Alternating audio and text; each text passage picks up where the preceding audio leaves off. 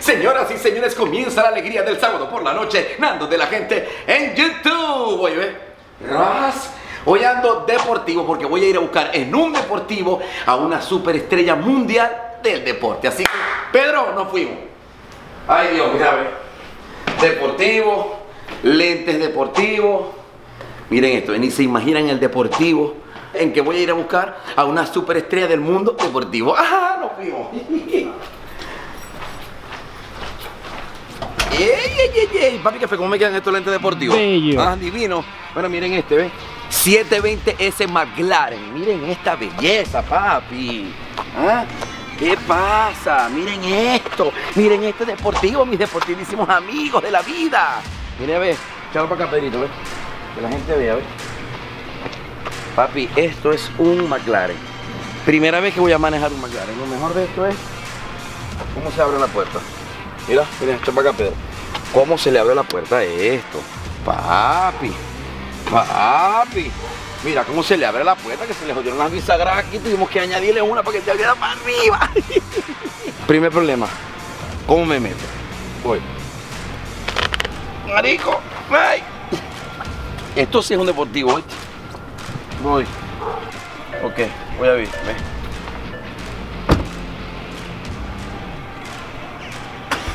Ve. ¿Qué pasa? ¿Ah? ¿Cómo me veo? ¿Me veo divino, Pedro? Bello. Bueno, ladies and gentlemen, señoras y señores, aquí voy a buscar a una superestrella mundial del deporte. Así comienza la gente.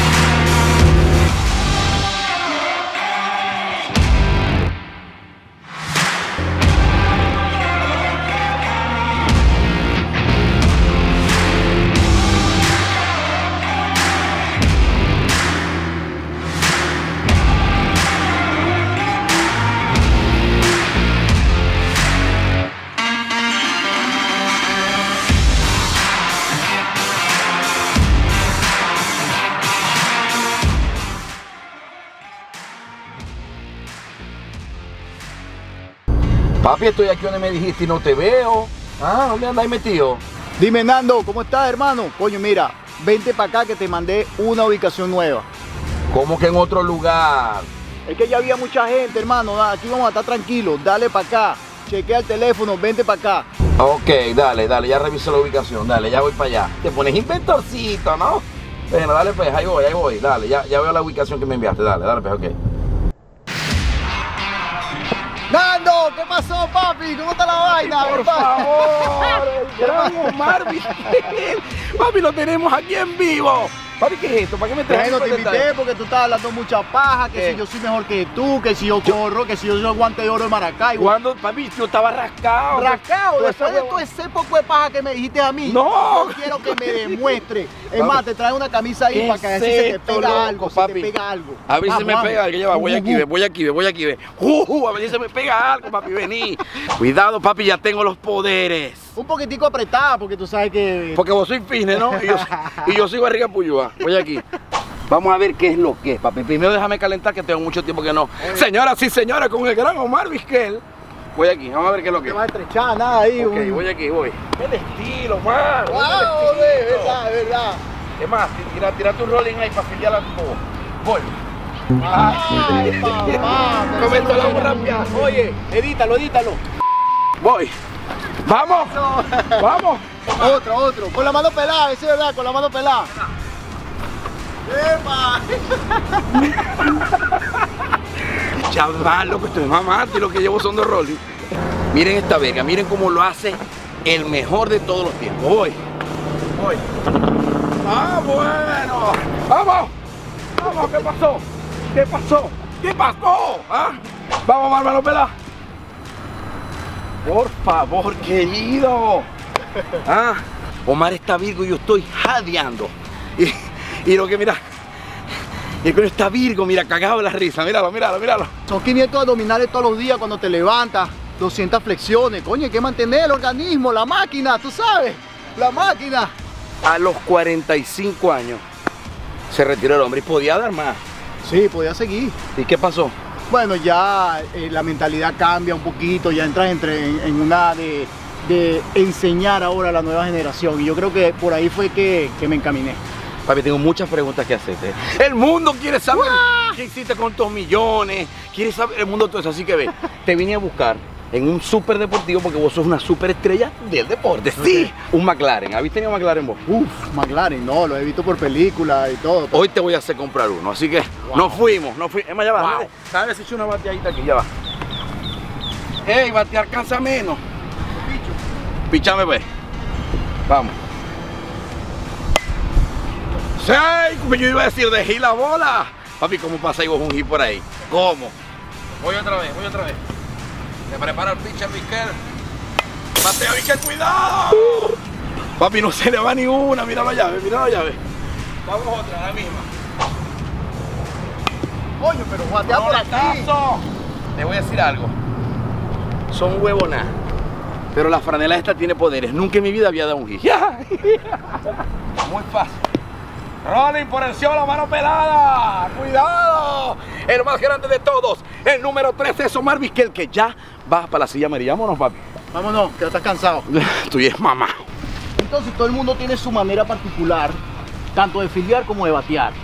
Hay unos tipos que les gusta echar la bola hacia atrás, el guante hacia atrás, hay otros que enseñan tirando el guante hacia adelante. Pero, Entonces ahí es donde viene tu estilo original de juego. Pero por lo menos el estilo de mano pelazo lo impusiste vos. Sí, el mano es pues tanto jugar pelotico de goma en, en las calles de, de Caracas, este, echando vaina con los chamos de, de- de la cuadra. Pero Y ya acá, cuando papi, llega a un la- nivel profesional como que se hace natural. Exacto, no la, primera vez que hiciste lo de la mano Omar, ¿fue una vega fortuita o ya lo venías pensando de que voy a hacer esta verga No, no, en el o sea, estadio? yo, yo lo hacía, yo lo hacía este, sin, sin siquiera pensar, pensarlo. Era, era eh, instintivo. instinto, exacto.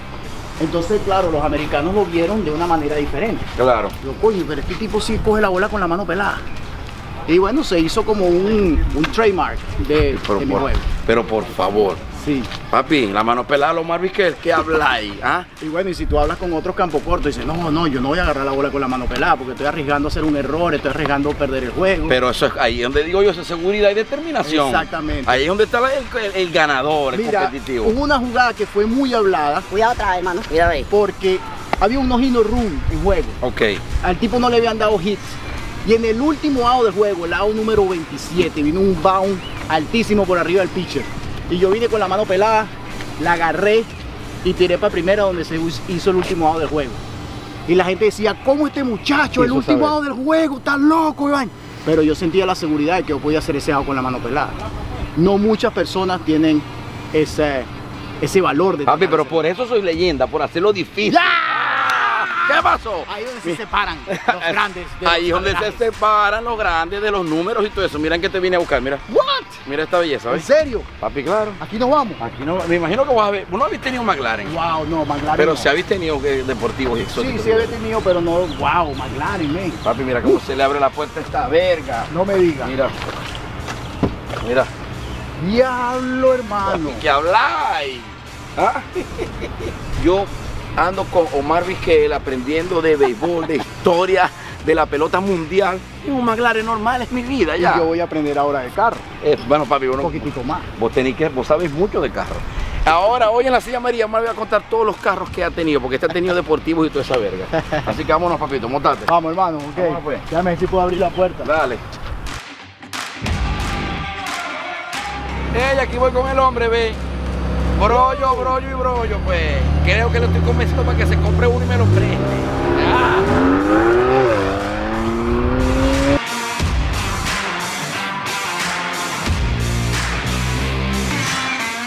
¿Vos tenés ¿Cuántos años en Estados Unidos? 30. Yo tengo más de 30, sí.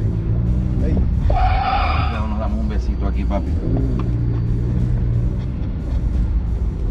Aquí viene el verguero, ¿cómo me bajo? Mira, que se baja en dos patas. Swing, swing the legs, Míralo, ¿ves? empuja.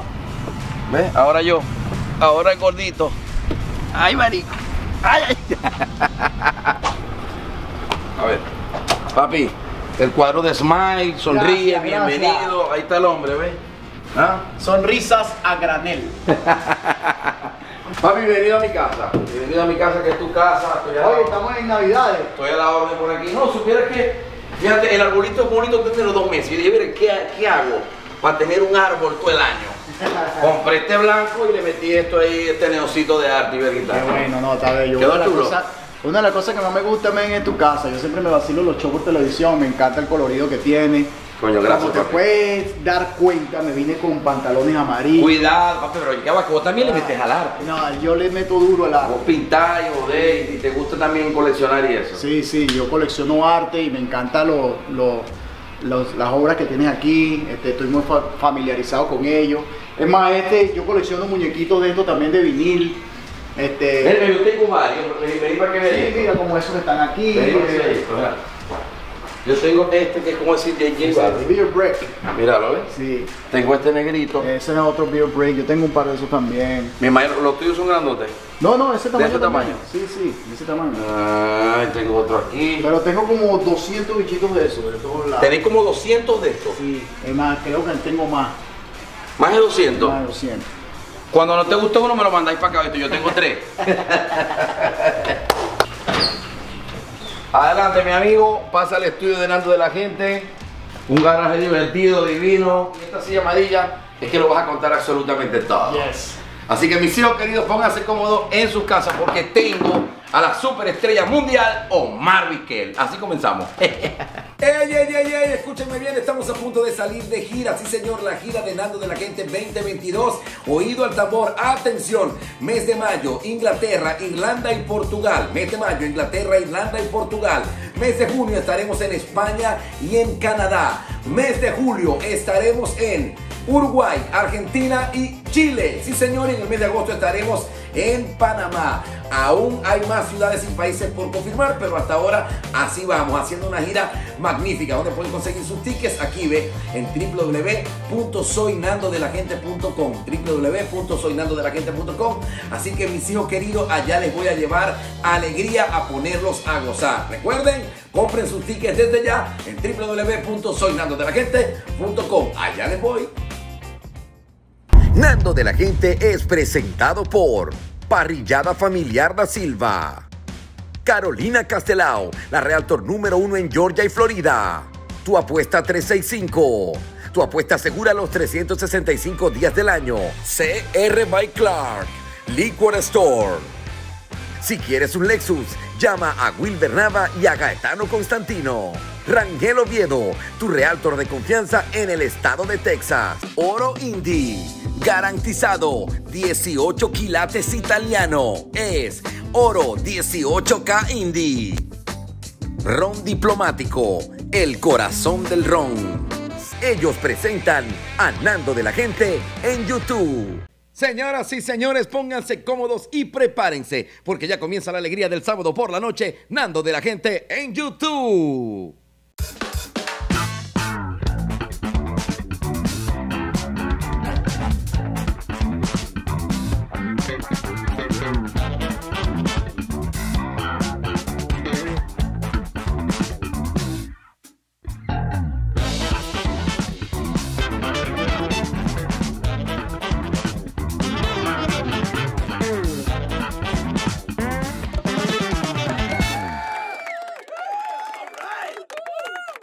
Por favor, querido, qué showzazo tendremos hoy, porque hoy estamos haciendo una apertura a algo nuevo. Señoras y señores, hoy en la silla amarilla el primer deportista, pero no es cualquier deportista, es la superestrella mundial del béisbol y es venezolano, el gran Omar Vizquel.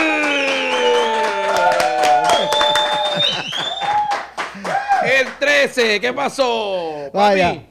Bienvenido, man. Gracias, Ah. Nando, gracias, gracias por estar. ¿Cómo, cómo me viste en, en el guante atajando? Coño, te vi bien y yo creía que era Y mentira la vaina, pero sí le metes No, bien. a- el- cuando te dije rascado, eh, fue muchas mentiras la que te dije.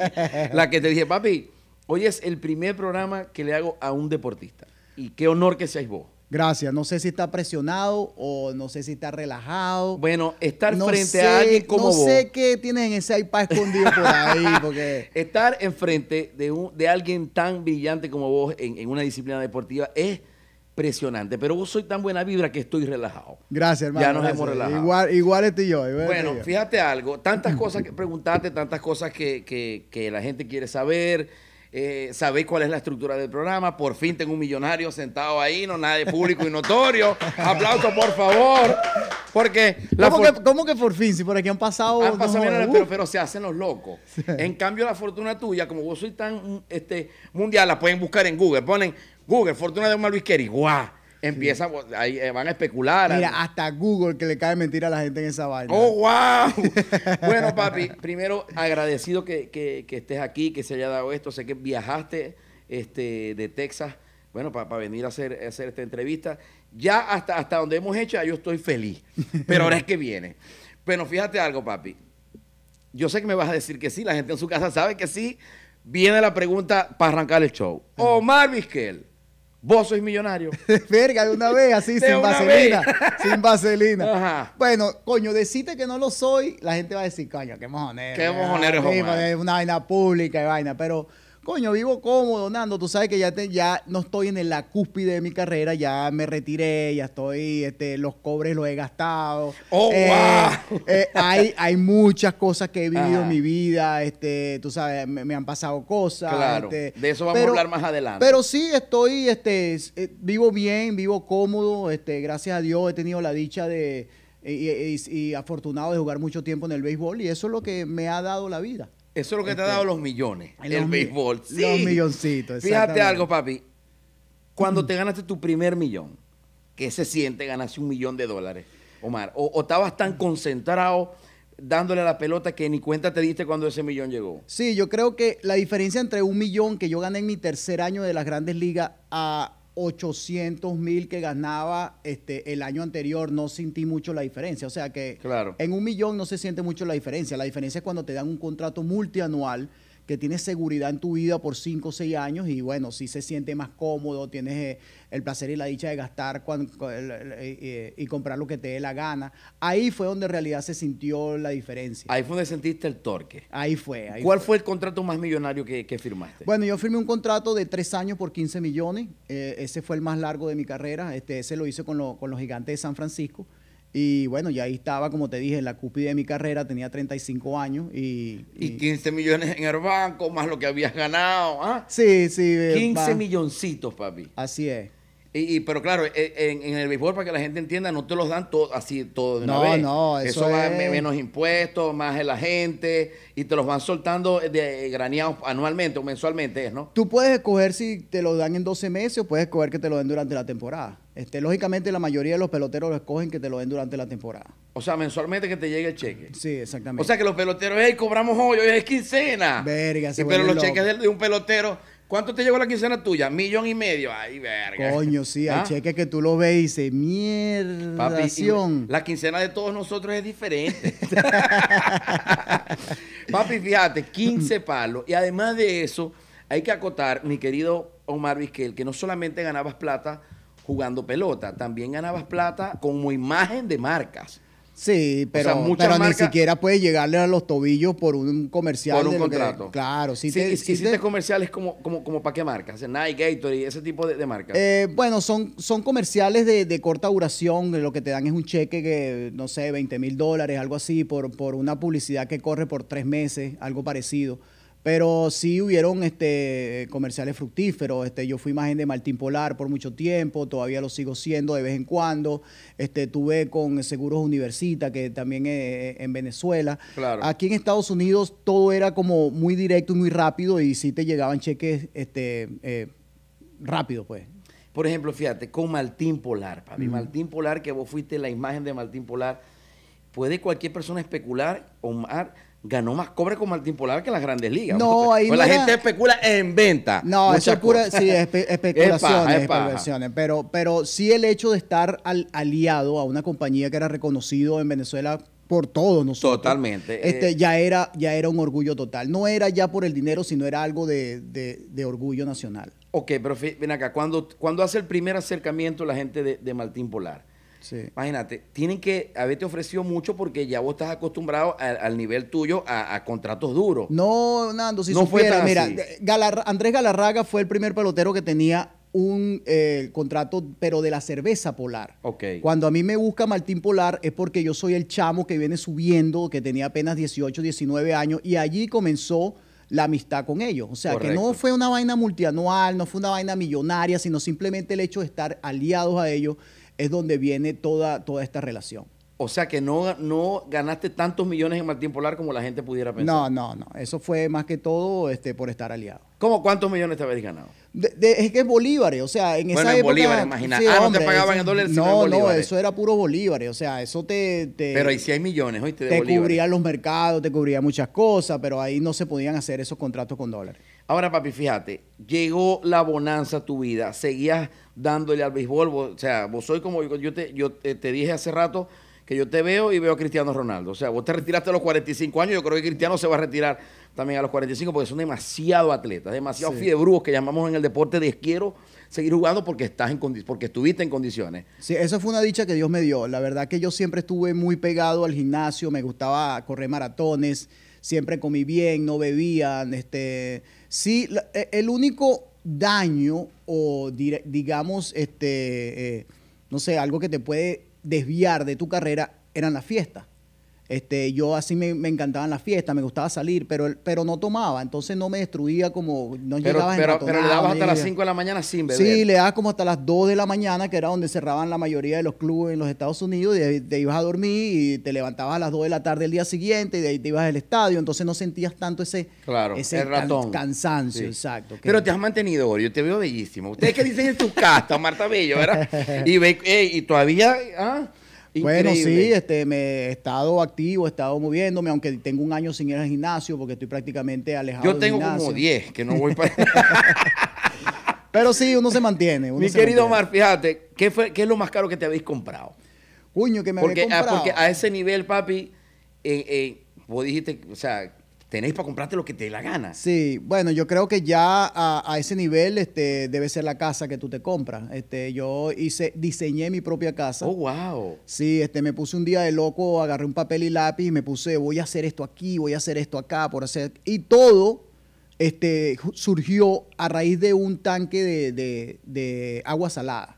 A mí me, me encanta eh, el mar y yo quería hacer algo este, que fuera bello en la casa y me- se me ocurrió la idea de hacer un tanque de agua salada en la casa. O sea, una piscina de agua salada, pues. No, no piscina, un tanque. El tanque tenía 500 litros de agua, este, como el tamaño, no sé, qué te digo, de, de una puerta de Pero esa como un ancho. tanque, o sea, pa- para bañarte en el No tanque. vale, un tanque, un- un- una, una pecera, una pecera de agua salada, pero ¿Qué? no. Entonces, ese tanque iba a estar en el medio de la casa y todo alrededor iba a girar alrededor de esa pecera. Y lo lograste hacer. Y lo logré, este, lo logré, hice mi diseño, hice todo eh, en papel. ¿Y ¿Tenés alguna imagen, alguna foto que podamos poner aquí? Coño, no lo tengo aquí conmigo. pero, Pero, sí me la podéis pasar. Quizás, este, porque en realidad no, no tengo fotos de esas en, en- Ok, en- o sea, lo, lo lograste y te lo hicieron tal cual como lo soñaste. Sí, entonces tú llevas eso a un arquitecto y le dices, coño, mira, yo quiero diseñar esta casa alrededor de un tanque de, de, de- de vaina, de agua, de agua salada.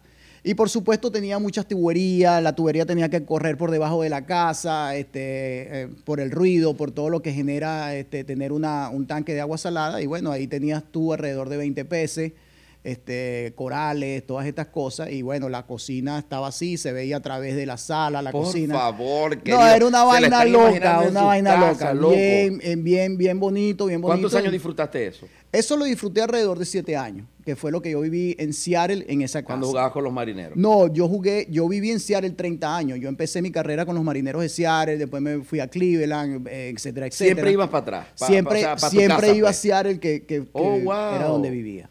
Wow, pero fíjate algo.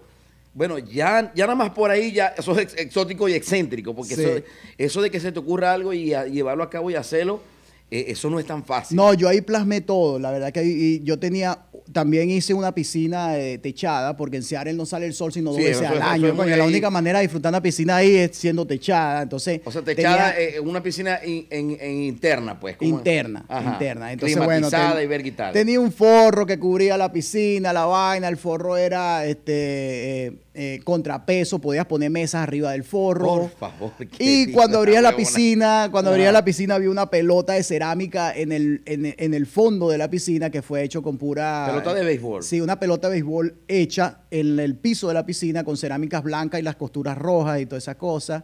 Tenía... Estamos, estamos hablando de qué año, de qué año fue eso. Eso fue en el año, este, te estoy hablando del año 2000, eh, 2008. Mira, y, y- y tu casa llegó a salir en. Fueron a grabarte tu casa y verla. ¿La llegaste a mostrar? ¿Estará en YouTube por ahí? no, no, videos, no, creo. Ahí nadie fue. a Siempre sido filmar. muy reservado con eso. Sí, eso, eso fue. Pero que algo lo estáis describiendo, yo estoy, Dios mío, o sea, la piscina con la pelota adentro. Sí, eh, eh, eh, con una luz azul que la alumbraba cuando se prendía. O sea, ahí yo puse todo, todo mi, mi imaginación para vivir en una casa soñada. Este, la entrada tenía un, un- un río que, que pasaba por debajo de la puerta con un ¿Qué puentecito.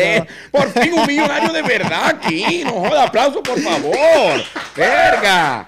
Ah, No, qué eso alegría fue- tenete, no joda. Eso fue una loquera. un esa- que pasaba un tobogán que iba desde el cuarto de él hasta el baño. ra. Bueno, imagínate Ah, que la, imagínate que abrí un, un track de motos de four wheeler Ajá. alrededor de la casa porque yo tenía ahí 10 acres. Ajá. Y alrededor de los 10 acres había un camino de motos de, de- para, para echar vaina por ahí cuando esté. Vas a ver con tus panas, pues. Sí, con los panas, y que tenía brincos, que tenía pozos de agua, toda esa vaina rodeaba la casa. Y toda Vamos la divertirte, pues. Vamos normal. Para tú echar vaina por de ahí. la tarde, ¿qué hago? Me tiro en la piscina, voy para el río, voy para todo, agarro la moto, ¿qué hago? ¿Qué Bueno, hago? además ¿Ah? de eso, Nando, tenía un mini zoológico. Tenía, No, no, tener- no, querido. Por favor. Además de eso. Vos habéis contado todo esto en algún show. No, primera vez. Primera yo, nunca, vez. yo nunca, yo no creo, yo creo que la familia mía que, que, que está oyendo, yo- ellos no sabían nada de esta Por vaina. favor, permítame decirte que ahorita vamos a hacer tendencia y trending topic de chocolate. Aplauso, por favor. Papi, un zoológico. Sí, había un mini zoológico. Este, nosotros teníamos una, una amiga que trabajaba en la, en la sociedad de animales que, que eran eh, eh, que, que los herían o, o que, o que no tenía nadie que los cuidaba y nosotros los rescatábamos. Ajá. ¿Y qué animal tenía? Verga, Ahora decir, teníamos, marico, una mira, jirafa, tenía un teníamos tiburón martillo. 82, 82 animales teníamos. ¿Qué, huevón? en una ¿Cómo parte 82 en una parte de la casa teníamos dos eh, eh, tipos que cuidaban le daban comida limpiaban Ajá. la vaina teníamos entre ellos tres lamas dos burros tres caballos teníamos tres canguros teníamos este ¿Tenían nombre los cinco animales? ¿Vos le ponías chivos cinco chivos ¿Le teníamos- nombre a algún animal? verga sí pero los nombres siempre o sea esos animales no van a estar este, los tres- carajitos tres eran los que le ponían nombres tres canguros Ajá, ¿qué más tenías ahí? Teníamos pato, teníamos este, dos avestruz. Teníamos dos avestruz. Bueno, eso, lo que le dicen imos, imos, Ajá. que es parecido a la familia Claro. de ellos. Pero esos bichos eran locos de bola, tenían los ojos así como se iban para los lados, te escupían. No, era una vaina loca. Eso era este, eh, el país de las maravillas ahí. Marisco, tenías un zoológico en tu Sí, casa. había loco. muchas cosas que hacer, muchas cosas que hacer. Y eso lo disfrutaste durante siete años. Eso lo disfruté durante siete años. Ven acá, y me imagino que en esa misma casa tenías 70 carros así exhibidos afuera. No, tenía siete nada más. Siete nada más un coño de madre. tenías siete carros. Siete carros. Tú sabes que yo algunas veces, este, yo pensé un día, coño, ¿qué será si tú tienes un carro para cada día de la semana? Una huevona. Y- Por favor, ustedes en su casa. Papi, un carro para cada día de la semana. ¿ah? y se, Bueno, cumplió, se cumplió esa ilusión. Yo sé que tú tienes algo parecido así. Yo ahorita Ana. tengo tres que los debo, gracias. Pero si yo tuviera ahorita, yo capaz tuviera un Maverick, un Failan 500, un Zephyr y un Malibucito. Eso vale igualito. Ahí vale voy, papi, fíjate. Entonces, ¿qué, qué carros tenías para cada semana? Decime los siete carros que tenías. Bueno, había un Ferrari. Ajá. Había un normal, normal, un Ferrari. ¿Ferrari qué? Un Porsche Turbo. El Ferrari era 360 Modena. Ajá. Este, había un Porsche Turbo, había un Porsche Strosek, que es un carro este, que se hace muy poco, vino directamente de Alemania. Lo encargaste. Había, sí, ese fue encargado. Había un Prowler, el Prowler es como un hot rod, de, que parecen así como los Slingshot, algo parecido, algo de eso que... eh, carros del- de, los años 60. Ah, ok, Como los ok. Woody, como los Woody que eran de madera, ajá. pero este era todo de aluminio. Ok. Este, Lleváis cuatro. y- Ahí van cuatro. Ajá. Había un Mustang del año 1967, que fue donde yo nací. Ok. Ese fue el año. Dijiste, el año que yo nací, ¿qué carro había de moda? El Mustang, dámelo. No, porque ese, ese sí era un carro ilusión mío, porque no sé si te acuerdas de la película eh, Gone in 60 Seconds. Papi. Este, Yo vi fue 60 Macu, la mujer de segundos estaba. Angélica Jolie. Yo vi fue Maco, la mujer de policía, pobre negro, el pe que fuma. Bueno, había un carro, ese carro de la película se llama Eleonor. Ah. Era, era el carro que todo el mundo quería, coño, que no se conseguían por ningún lado. Y ese era el protagonista principal de la película. Entonces, bueno, huevón. se puso de moda ese Ah. carro y yo quise tener ese carro. El Mustang, ¿qué más tenía? Tenía un Explorer, una camioneta Explorer, y tenía este. eh, ¿Qué más? Explorer, Porsche, Me Ferrari. falta uno por ahí, pero no importa. Ahí están los. Siete. Y, y te tomabas la tarea de salir uno cada día o tenías uno favorito? No, en realidad ya era por, por, por eh, de cómo te sentías en ese día, qué carro quería manejar, etcétera, etcétera. No era en realidad para manejar un carro el lunes, el martes, miércoles, pero sí los tenía si quería. Querido. Venías acá. Mira, y, a- y nunca te ganaste un carro así, con- cada vez que te ganabas el guante de oro, no sé, MVP, que a veces, a veces nunca, dan, nunca, te, nunca ganaste este gané- carro. Nunca me gané un carro. Y nunca tuve moto. Sí, tenía los four wheelers, pero nunca tuve moto. El- el, eh, este, sí me compré una moto después, al, ya al final de mi carrera, porque coño, la moto era muy peligroso. Y siempre ah, escuchaba las historias de que, coño, lo- no, si eres deportista, te bajo de una pierna, se te cae y tal. Entonces, no era, no, en es, ahí no era una prioridad. Una, Una prioridad, una prioridad. moto, sí. Fíjate, qué bello. Primer invitado que me responde así. Porque esto es lo que la gente quiere saber. Sí, vidas exóticas.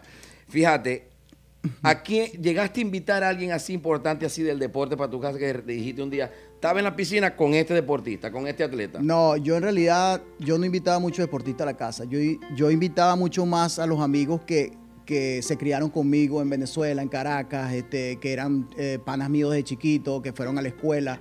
Esos eran los chamos que, que Los que disfrutaban disfrutaban, tu casa. los que disfrutaron Papi, en mi y casa. la cara cuando llegaban. Verga, bueno, hubo- imagínate, este, la casa, Omar, este, ¿puedo ir para el baño? Claro, marisco. sí, la casa era de 10 mil pies cuadrados.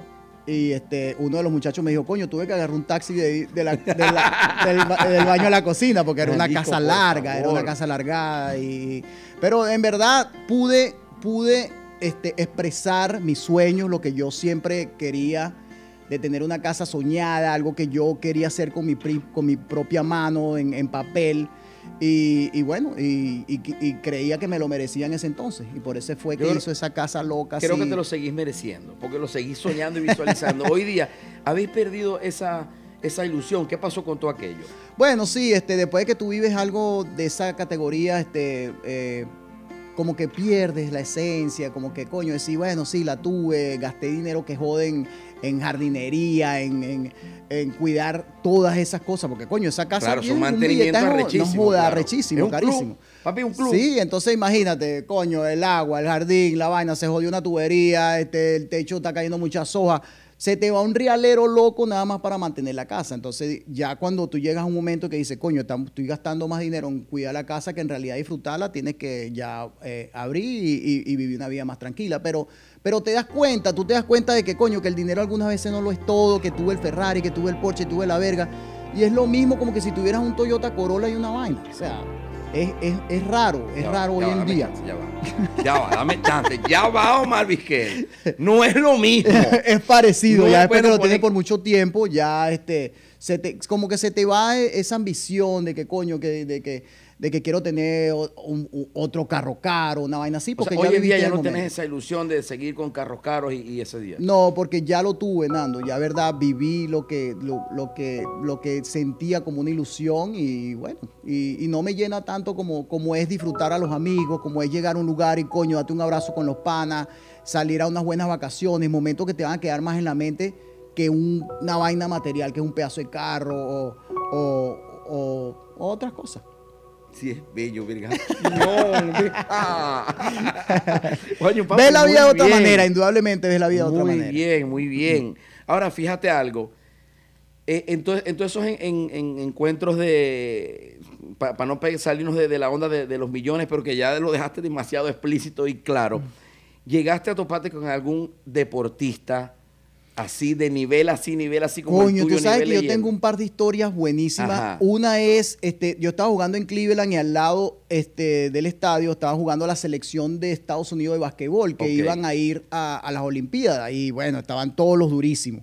Y estábamos esperando a Michael Jordan, por supuesto, para saludarlo y, y Michael este, salió de- del camerino después de ya esperarlo por, por una hora y pico y saludó al pana que nos llevó para allá. Pero yo estaba al lado de él y cuando él se vira y me ve, me dice, coño, Omar Vizquel, ¿cómo estás, hermano? Michael Jordan. Michael Jordan, coño, a mí se me paralizó el corazón, porque imagínate, Michael Jordan te reconoció a ti con nombre y apellido, significa que el tipo no joda, siempre estaba siguiendo el béisbol. Y dos años después fue cuando Michael decidió retirarse del basquetbol e incursionar en el, en el mundo del béisbol.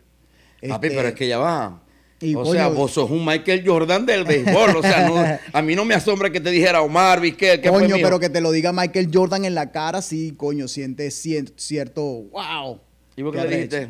Hi, bro. Me quedé frío. What's up? What's up, What's up, man? y la otra es con el ídolo mío de toda la vida, eh, Muhammad Ali, Ah. Ok, Cassius Clay. claro. También tuve la oportunidad de firmar este, en un convention center. Fui a una firma de autógrafos con él. Y bueno, ya Muhammad estaba ya en, en la época donde le estaba empezando el Parkinson y eso, pero el hecho que se me quedó viendo así, me dio la mano, me dice, wow, nice to meet you. Ya esa vaina. También era- te reconoció. bueno, no sé si me reconoció en realidad, pero el hecho de que se te queda Claro, viendo la- claro, a- la cara. Coño, yo tenía afiches de, de Muhammad Ali, este, tengo póster, tengo libros, este, siempre ha sido mi ídolo en un atleta. Claro. Y, y bueno, eso fue lo- la vaina favor. más grande del mundo para mí. Bueno, no, normal. Michael Jordan. Ya, no, hay- ya de ahí para allá no hay más. Exacto. No hay ya más. Ahorita me dice, bueno, ayer hablé con Messi y quedamos de almorzar ahí en Houston y, y con Cristiano que me escribe normal, pues. Bueno, sí, lógicamente estando en ese mundo conoces muchas personalidades este, del Hollywood, de cine, de, de todo eso. A pero- ver, de- de- decime a alguien de Hollywood así que conociste. Bueno, este, de, de Hollywood, eh, Billy Crystal. Billy eh, Crystal, gran comediante. comediante. Que los comediantes somos muy arrechos. Verga, son arrechos. eh. El gran Robin Williams. Oh, este, wow. Coño, ya esas son palabras mayores. Este, conocí a Tony, Tony Robbins. eh, Tony Robbins, claro, gran actor también. También, este, el cantante de Metallica ya en el mundo musical. Este, yo creo que esos son El los de que- Metallica, amigo mío también. Él tuvo un año con Coquibacoa, allá en Maracaibo. eh, Con gran Coquibacoa, con Neguito, ne- Pero como la- el, el timbre de voz era muy grueso, Neguito lo sacó. Y ahí es donde, ahí es donde él hace Metallica, cuando él sale de Gran Sí, Coquibacoa. sí. y bueno, y por supuesto, ya que estás hablando de eso, por supuesto conocer a todos los artistas venezolanos, coño, que siempre los ha tenido este, en, en muy alto, a, a Guaco, Claro. a todos los cantantes del Guaco, eh, a Oscar de León, eh, a todos los tipos que, coño, que tú lo veías como en un pedestal y que hoy en día, coño, te puedes sentar con ellos a tomar una convers a, a- a- tener una conversación, a tomarte una cerveza. Claro, papi. Y Muy agradable, Créeme que ellos hablan así tuyo. Porque además a vos te gusta la pachanga, vos tocáis timbal, vos Sí. tocáis percusión. Sí. Te he visto varias veces descargar y le dais. Le doy más o menos ahí. Le da y le da. Sí. Pero sabéis que, sabéis que lo que es estar enfocado y concentrado en lo que es ser un atleta de alto rendimiento. ¿Cómo pudiste pasar tantos años sin tomar alcohol? Y vais para fiesta y no tomas alcohol Coño, y hoy en que día pasa te es que- retiraste y seguís ahí tranquilo. Sí, lo que pasa es que, bueno, en mi familia mi papá tomaba y a mí no me gustaba la actitud de él cuando tomaba. No era un tipo violento ni nada, pero sí este, eh, tuve eh, al- algunos, algunas cositas que no me gustaban. Entonces no, no me llamó nunca la atención la bebida. Nunca. Ni fumar, ni este. eh, Yo creo que la, la- lo único que yo era era fiestero y era jodedor. Siempre salía en las noches. Sigue chaval. siendo, jodedor. Sigue, si- sigue siendo. Pero ven acá, hoy en día, eh, ya no tenéis los carros esos, que, que ya no tenéis nada. No, ya no. "Nando, no. Ahorita ando en un, en un, ¿cómo se llama? En un, en un Failan 500, tranquilo, No, no, convertible. este, como te digo, vivo bien, estoy tranquilo. Este, hice un, un- un pacto ahí con un carro que, que- que tengo hasta un año más. Y, y no es un carro exótico ni nada de eso, sino que no quiero perder el lease y para no perder- perderlo, tengo que utilizarlo un año más y me voy a por quedar favor, con él. qué humildad. Tiene un lease. Y no, O y sea, salí de todos los carro carros. Sí, este y salí, todo salí de todos los carros. Salí de toda vaina, estoy viviendo una vida más tranquila. ¿Y por qué saliste de todos los carros y de todos esos? Bueno, ya, ya no, este, no me daban nota, ya había, los había usado este, suficiente, me metí en peos con, con- con la, con la ley, este, tenía eh, multas eh, eh, altas, Altas velocidades, velocidades. Este, y mejor preferí men, evi- evitarme más problemas y tratar de salir de todos esos carros y vivir una vida más tranquila. Sensatez al máximo. Aunque todavía estoy manejando un poco loco, ¿no? Como me dicen por ahí, pero es- eso sí es difícil dejarlo. Menos mal que no me dejaste manejar el, el, el, el McLaren ese. Papi, estuve a punto, pero es que yo andaba tan divino ahí con vos que, ¿me entendés? Yo estaba en mi nube, ¿me entendés? No te Porque quise le- quitar la ilusión. Le da ahí, le da ahí. Sí, sí. Este, yo tuve un par de, de, de tickets a alta velocidades y bueno, por supuesto el seguro te, te da durísimo y te amenazan de que la próxima ibas a ir para la cárcel, ¿qué tal? O sea que no, no es tan Mira, fácil pero- tener esos carritos. No, No, no es tan fácil tener un carrito de eso y llevarlo a mantenerlo. 50 millas por hora. Imagínate, ya vas en segundado y el bicho te está pidiendo, coño, Sí. cámbiame para tercera. Tú estás ahí, no jodas, 50 millas viendo que el tipo que está al lado tuyo es un policía. Es muy Y el policía loco por tirarte la multa para ganar tu comisión. Gracias. Eh, Ah. sí, así es. Ven acá, pero entonces, de todos esos millones que ganaste, todavía queda. Todavía queda. Bueno, queda algodón. Este, no te digo que, verga, que tengo millones así para botar para el cielo, como lo hice cuando estaba este, en, en mi apogeo. Creo que no los votaste, creo que los disfrutaste. Bastante al máximo. O sea, coño, tú, este, cada año eran unas vacaciones exóticas. Este, ¿Cuál fue la más, la más exótica que fuiste? Verga, yo creo que me tiré un mes por, por Europa, este, visitando eh, todas las ciudades por allá, este, con lujo y detalles y vaina. Y, Hoteles muy cinco estrellas, siete cinco estrellas, estrellas, no sé qué. te desayunabas con, con caviar y champaña y Wow. Vaina. Y sí, O siempre. sea, nada de dos pastelitos y una malta. No, ya eso este, eh, ya lo habíamos dejado en el pasado. Muy pero- bien. Mira que este. eh, Pero ahora sí Omar, estamos desayunando con esa vaina otra vez. Omar, huevo revuelto y arepa, champán y caviar, por favor. ¡Oh, wow!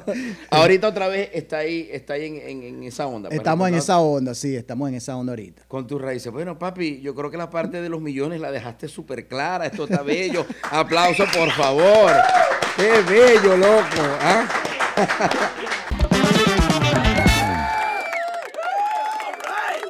Bien amigos, vamos a hablar de Parrillada Familiar da Silva. Es el sitio por excelencia, el encuentro para que usted vaya a comer esa parrilla sabrosa, espectacular y divina con el auténtico sabor al grill, ese sabor al carbón que solamente te lo da Parrillada Familiar da Silva aquí en Miami en el Doral. Y ahora en www.dasilva Market usted puede encontrar esos productos que solo ellos hacen para ustedes. Recuerden, visiten arroba Parrillada Familiar da Silva Miami. Ellos son Parrillada Familiar da Silva. Bien, estás pensando en comprar la casa de tus sueños, una casa nueva. Tranquilo, tranquila, te tengo la persona perfecta a la cual tú tienes que llamar en este mismo momento. Se llama Carolina Castelao. Y no porque te lo diga yo, no señor, sino porque los números lo confirman. Ella es la realtor número uno de los Estados Unidos porque ella te orienta, te asesora, te dice en qué momento, cuándo y dónde comprar, en qué ciudad, en qué lugar. Lo sabe absolutamente todo en cuanto a bienes raíces se trata. Llama a Carolina Castelao porque además ella ubica rápidamente quién te puede aprobar tu crédito de manera rápida e instantánea. Aprobación de crédito instantáneo. Así que recuerda, Carolina Castelao, ella hace posible lo imposible. Bien, vamos a hablar ahora de www.tuapuesta365, la página más importante, segura y confiable del planeta a la hora de hacer tu apuesta. Sí, es www.tuapuesta365. Ellos esperan por ti los 365 días del año y las 24 horas del día. Se llama www.tuapuesta365. Apuesta y gana en las ligas y los torneos más importantes del deporte mundial. La El béisbol de grandes ligas, el fútbol, casino en vivo, los caballos, todo tipo de apuestas están esperando por ti en www.tuapuesta365. Si de bebida se trata, si de licor se trata, pues yo les voy a recomendar siempre lo mejor. ¿Y quién es el mejor? Ron Diplomático, el corazón del ron. Sí, señor, para cualquier evento, para cualquier compartir, para cualquier fiesta, usted, amigo mío, en cualquier parte del mundo, tiene que tener siempre el mejor ron. ¿Y cuál es el mejor ron? Ron Diplomático, te lo dice Nando de la gente, recomendado 100% porque Ron Diplomático es el corazón del ron. Hablemos de oro, hablemos de prendas preciosas, hablemos de brillo. Les voy a recomendar a los mejores. ¿Y quiénes son? Mis grandes amigos de Oro 18K Indie. Sí, señor, usted, amigo mío, quiere lucir una hermosa prenda en cualquier parte de los Estados Unidos. Mis amigos de Oro 18K Indie se la hacen llegar. Tienen una variedad increíble, escúcheme bien. Oro 18K Indie, garantizado. Oro italiano 18 quilates, 100% garantizado. Entonces, ¿qué tiene que hacer? Llamar a los mejores, mis grandes amigos de Oro 18K Indie. Segunda parte del show. Empezamos a hablar de sexo. Yes. Imagínate un tipo con la fuerza, la energía incontrolable que vos tenéis, la elasticidad que vos tenéis, manos peladas, verga, o sea, elasticidad. De- Vos debes de ser, papi, un toro eh, en la cama. Bueno, este, eso no está para mí por decirlo, sino las que han estado conmigo, las parejas que han estado conmigo. Pero sí creo que me puedo defender bien. Oh. La- a mano pelada. A mano pelada. Con brinco y todo. Ven acá. Ok, fíjate. En, pero ¿sos un tipo eh, fogoso o soy más conservador? Más tranquilo, pues. Fogoso, yo diría que soy fogoso. Fogoso, yo siempre lo digo, vos veis mis shows. Yo digo que hay que hacerlo todos los días. Vos también partís de esa premisa. Coño, a mí me encantaba hacerlo por lo menos cinco veces a la semana. Lo que pasa es que depende, Cinco porque veces a la durante semana, casi todos los días. Durante la temporada es arrecho hacerlo, porque coño, Ajá, imagínate. explícame esa parte. En la Sí. temporada que no les permitían o qué. No, no es que no te lo permitan, sino que tú también te cansas. Tu, tu cuerpo, verga. Hay juegos que son intensos, que son largos. Y bueno, no puedes llegar a tirarte una noche de romance con, tú sabes, con champaña y caviar. Exacto. Pero este, sí puedes satisfacer a tu, a, a tu mujer de acorde al momento. O sea, ella también entiende que coño, el tipo está trabajando. Mami, vamos con un rapidito que me tengo que acostar, mañana tengo que pararme temprano. Sí, algo así, algo así. Este, y hay momentos en los cuales el juego se pone ladilloso, que te meten cuatro ponches y tú lo que quieres es llegar a la casa para destrozar ah, la cama. Entonces, ah, para bueno. destrozar la cama, para destrozar la cama. La voy a pagar hoy con vos, porque me ponché cuatro veces. Dale ahí, pues, dale así ahí. es, así es. Gordo, pero dale, te dije, pues. ¿ah? Así es. Wow. Entonces, bueno, pues tienes que buscar ese equilibrio de coño, este, cómo Pero lleva. tuviste alguna época de tu vida así que era todos los días, varias veces al día, una locura. Verga, bueno, imagínate, de los, de los 20 años a los 28 años, tú eres un toro. O sea, nadie Yo te para en esa un vaina. toro. Pero ya tú tienes 30 y pico, ¿no? Gracias, gracias, gracias por los treinta y pico, papi. Por favor, decime así, Omar Vizquel, con toda esa energía que te caracteriza a vos, dame el récord tuyo. ¿Cuántas veces en un día? Seis veces. Sin titubear. Sin sacarlo. No jodas. sin sacarlo, porque pueden ser Seis 6, 7 veces sin. Listo, listo. Papi, sin pastilla, no natural, nada, nada, nada. Seis veces sin sacarlo, por Dios Rueda santo, libre. Ah, yo, libre. yo dije, verga, ¿qué pasó? Aquí estoy, aquí estoy, ah, disculpa. Papi, seis veces que me asombró. Seis veces sin sacarlo, loco. Sí. ¿Ah? Bueno, coño, cuando te digo que cuando uno es joven, chamo, tiene toda la fuerza del mundo. verga, Pero yo no- te veo, te sigo viendo vigoroso. No, yo estoy Hoy vigoroso. ¿cómo Yo me siento todavía entero. Hoy en día, este, como, hoy en día, ¿cuánto creéis vos que lo hagáis sin sacarlo? Coño, yo, eh, tres. Tres. Vergación, pero ese- papi, todo el mundo que te está viendo tal. Tres, bueno, yo tengo testigos, pero no. No, y lo- hay, que- y hay testigos presenciales que están ahorita aquí así, mira. Ay, Omar, no. No, ay, Omar, no, no hagas esto. Ay, coño, mira. Papi, palabra cierta, Oh, aplauso, oh. por favor. Tres sin sacarlo. Ah, Omar, ven acá. Y soy inventor. Inventor en el sentido de Coño, que. sí, sí, eh, soy inventor, muy inventor, especialmente en esa, en, en esa materia. Ok, que no solamente le dais nada más en la, en la cama, en, la en el cuarto convencional, sino que vamos para el carro, vamos para la cocina, soy inventor. Sí. Habe- ¿Habéis tenido alguna situación así de, de extremo que podáis compartir con nosotros? Ejemplo, que, esté, que no sé, de repente te invitaron para una fiesta, fuiste con tu pareja, estaban los dos muy bellos, preciosos. No, no, en las fiestas así públicos no. Este, eh, Eh, tiene ¿Alguna que ser situación extrema eh, eh, eh, hasta allá privado, privado con la, pare- con la pareja sí invento muchas vainas, muchas cosas locas. Pero así que vaya por una casa, que una vaina en un carro, este, en, en un carro sí lo he hecho, pero, pero no es una vaina loca así. Este, prefiero estar privadamente con mi pareja para inventar eso. Oh, wow. Sí. Vení acá. Y cu- cuando te referí, y te grabás y verga. Te grabáis como para después vete. No, ese no soy yo, porque hoy en día, chamo, esa vaina es Ah, sí, peligrosa. sí, sí, día, exactamente. verga, con los deportistas, una foto ya te jode. Imagínate un video. ¿Cuánta gente no se ha metido en problemas con videos? Exactamente. Sí, entonces trato de evitar eso. Oh, wow. Qué fuerte, por favor. Yo ya va que están entrando aquí. O sea, Denle para adelante, denle para adelante. La multitud. La multitud, Está llegando papi, la gente. Fíjate, hoy en día tenéis ahorita eh, 50 y... Cinco años acabo de cumplir, hace cuatro años atrás, eh, cuatro días atrás. Cuatro días atrás yo fui para tu fiesta. Ah, que estuvo buena. Estuviste por allá. Por cierto, coño, te fui a saludar. Coño, quiero- eh, eh, estaba en un camerino. Quiero hablar con Nando, quiero saludarlo. No. ¿De parte de quién? Coño, ¿cómo que de parte de No, quién? no, mentira. Y una es un poco de Mentira, guardaespaldas. y Mentira, vaina. mentira, no jodas. Papi, si todo el mundo cuando te ve así así, ah, todo el mundo queda... No pude entrar a saludar a Nando. a Nando. Papi, viene acá. A ver, Omar, soy de posiciones varias y verga. eh, o, o también conservador? No, no, posiciones varias, hay que variar, hay que cambiar el, el repertorio, el line-up, hay que, hay que estar este, siempre haciendo cosas nuevas, este, buscando ¿Y soy de los que busca o esperáis que se dé el momento que te busquen? Bueno, tienes que dejarte llevar también, porque no solamente tú tienes que ser el líder en la vaina, tienes que dejar que tu mujer también tome la... Que tome ba- la rienda. La batuta, sí, la situación, ¿cómo no? La batuta hay que tomarla. Palabras de Omar Miguel. Papi, muy bien, loco, muy bien. Ahora, mi querido Omar, fíjate algo. ¿Soy más de rapidones o, o pela así mu- mucho tiempo? Eh, hoy Verga, en porque día... entre sin sacarlo me tenés afocado. Hoy en día rapidones. Hoy en día rapidones creo que este es lo que más mi cuerpo lo, lo, toma. ¿Te gusta más hay momentos, hay, Hay hay días hay que- que días que, coño, que, que yo me sorprendo, digo, coño, pero ya va, ¿quién eres tú?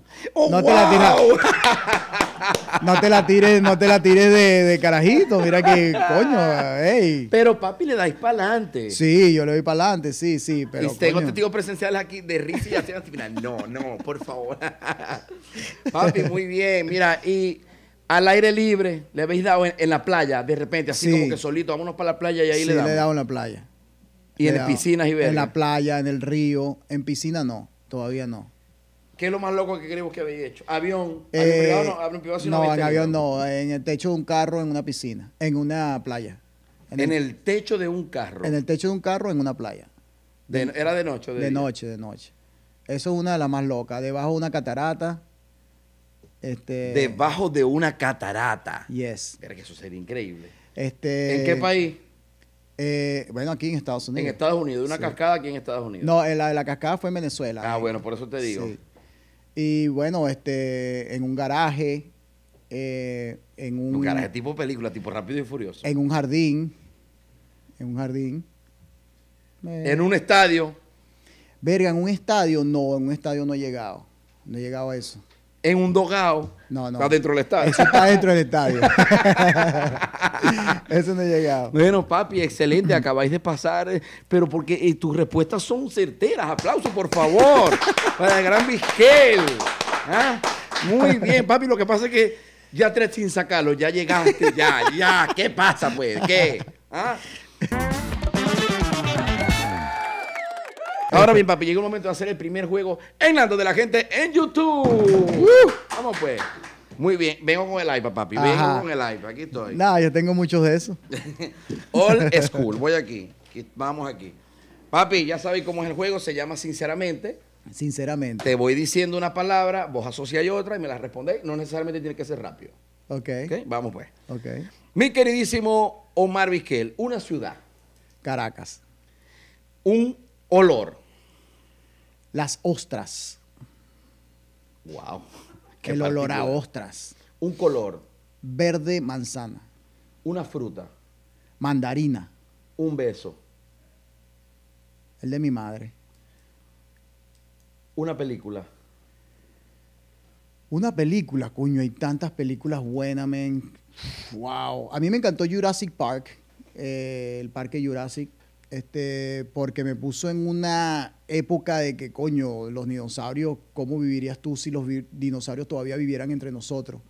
Este, siempre me había, me había encantado esa clase de, de aventura, de comiquita. Fue la primera película que yo vi en el cine. Jurassic Park. Jurassic Me Park. acabo de remontar para atrás. Coño, sí, imagínate. Un hit. El primer hit que di en Grandes Ligas. ¿A quién se lo diste? Se lo di a eh, un pitcher que se llama Storm Davis en el año 1983. 89, ¿o no? Eh, 89, el 3 de abril. 89, papi. 89, Sí, ¿qué sí. fue? No, tu primer año. que te iba a decir el 3 de abril. 3 de abril en el 89. En el 89. Ok.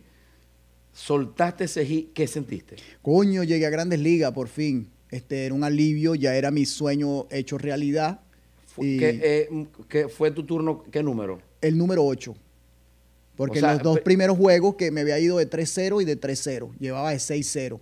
Estabas un poquito presionado. No, sino que coño, era novatico, este, eh, coño, eh, estaba empezando a batear a la zurda, tenía un proceso difícil de, en donde yo entré y llegué a grandes ligas.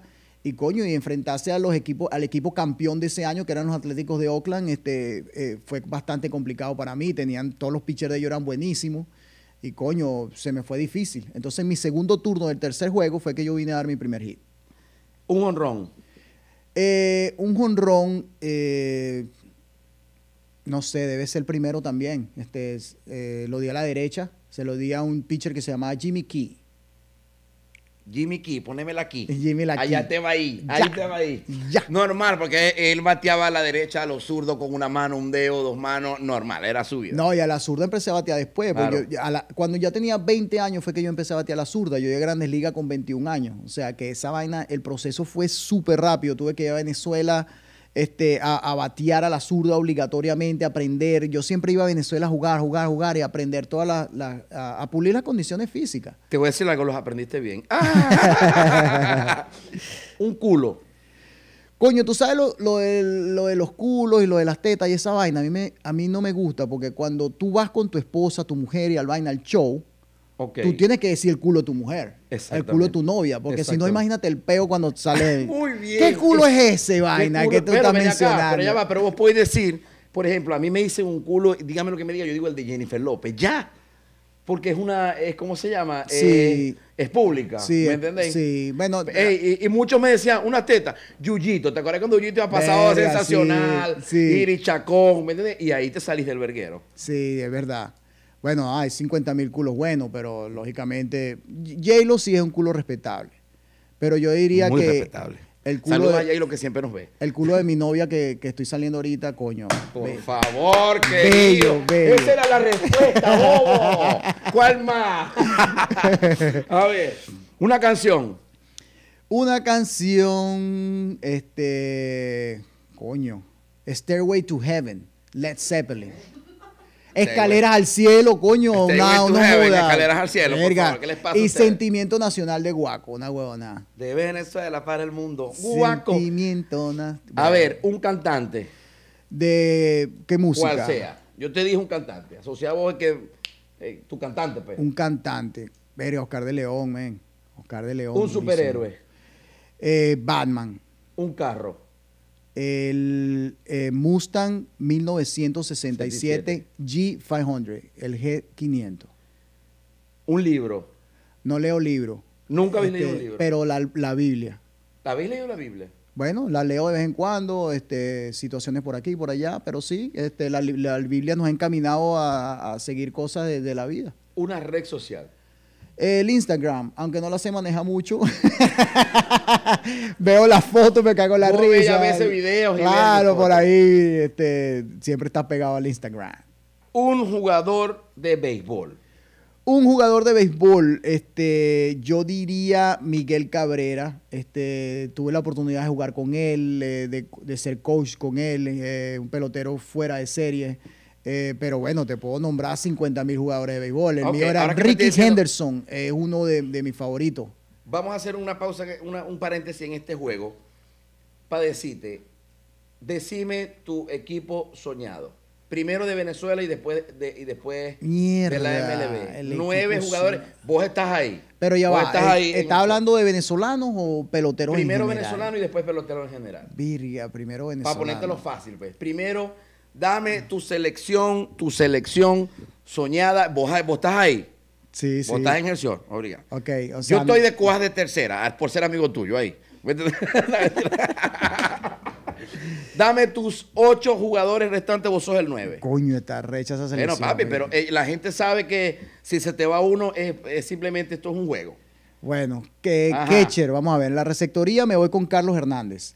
El tapón Hernández. Primera Que base. No, no, vos. él no, él no Él es. Tapón ese es Hernández. Carlos Hernández ese es otro muchacho. Ese es otro. Ven acá. Ese va Car- con los Leones. Carlos Hernández, ¿cuál fue el Carlos Hernández? Un Hernández que estuvo con vos en el campeonato infantil. Ese, ese Carlitos Hernández que jugamos juntos que Campeones teníamos. mundiales. Sí, campeones Normal, mundiales. sé mucho de béisbol. Coño, muy panita mío. Ajá. Eh, primera base me voy con Andrés Galarraga. Ok, Este, en segunda base creo que José Altuve. ok. El- Saludos al Tuve porque lo vamos a tener aquí también. Coño, sí, quiero oírlo. Trae, empieza a traer peloteros para acá, porque yo no voy a ser primero Papi, pajugo has, que venga acá. has abierto el túnel. Yo abrí Ahora, la sí te- puerta. sí te voy a decir algo. Ajá. Dificulto que un pelotero tenga la casa esa que vos No, si la casa mía era una cagada para las casas que no joda estos carajos. zoológicos y verga. ¿Qué no joda? Uf, estos chamos, verga, ahorita están pagando mucho más, mucho más, mucho No, más. lo- pero, pero digo, papi, esa, esa, esa ese toque originalidad original de tu casa. sí, cuida. eso sí, no, no eso creo, sí. papi. Bueno, ha- habrán tipos que también tendrán su toque original. en Vamos a ver, vamos a ver cuando tengamos vaina. aquí, ok, segunda base Altuve, Ajá. en el short Taibo, Ajá. en tercera base. Cuño, en tercera base, esa está jodida, la tercera base. Vámonos para outfield mejor. Ajá. Este, Bob Abreu en el right En field. el right field o Abreu. Eh, Magli Ordóñez lo voy a poner en el right. Bob Abreu lo pongo en el left. Ok. Y en el center. Y en el centro field me voy con Melvin Mora. Cuidado, qué equipazo. Melvin Mora. Ajá. Y a Miguel Cabrera lo tengo de bateador designado. Y en tercera, En tercera, esa es la, la, la jodida. porque tenéis varios candidatos. Coño, no sé, no, no, no enfoca uno así como. A ver, ayúdame ahí. El Kung Fu Panda. Te vas con el Kung Fu Panda en tercera. Bueno, vamos a ponerlo ahí, vamos a poner el Panda ahí en, en tercera base. Y el manager, El manager pongo a, a Alfonso Chico Carrasquel, aunque ya falleció, lógicamente. pero, fue un hombre, haciendo- coño, es un hombre que me enseñó mucho cuando yo entré en los Leones del Caracas, un tipo que es muy, este, por supuesto, todo el mundo lo conoce, venezolano que jugó en las grandes ligas como Campo Corto, uno de mis ídolos. Me gustaría tenerlo como manager. ok, perfecto, aplauso por favor. Él dio su, él dio su, su, su alineación venezolana. Ahora háblame la americana. Virga, el americano. en Seguís estando vos ahí. Seguís estando vos Ok, ahí. me quedo en el short, ok. Ajá. Me pongo en tercera Arenado. Ok, Arenado. Nolan Arenado Ok. en, en tercera base, me voy en segunda base con Roberto Alomar. Alomar que era tu dupla, ¿no? Sí, era mi dupla. Me voy en primera base con Mark McGuire. Este, y los outfielders, Ken Griffey Jr., Sammy huevo. Sosa. y este, en el left field, eh, Ah, huevona, ese equipo. verga, chamo, un equipazo. Ken Griffith, Sammy, ajá, te falta el left. El left field me falta. Voy para el catcher, Poch Rodríguez. Ajá. Este, y en el left field, coño, el left field puede jugar cualquiera. Méteme a mí, méteme a mí, méteme a mí en el FI por 500 mil juegos, 10 temporadas. Vamos a poner a ti bateador designado, Nando. ¿Ya viste el swing que tiré? Coño, tremendo swing, tremendo swing. Bueno, papi, ajá, ya va, que me falta aquí. Eh, ya te dije, ajá. Coño, la verdad que uno no, no se le, no se le pasan por la mente tantos peloteros que uno No, claro, ¿no? y de paso En en el este momento de momento- nombrarlo, verga, se te olvidan todos. En este momento rápido, fíjate. Ay, baby- verga, marico, te olvidaste de mí, no jodas. Omar, qué bolas. Tantos juegos que ganamos, campeones. Ay, bueno, ajá, yo lo, lo presioné, dejen. Bueno, papi, yo creo que ya pasaste el primer juego ganando de la gente en YouTube. Ah.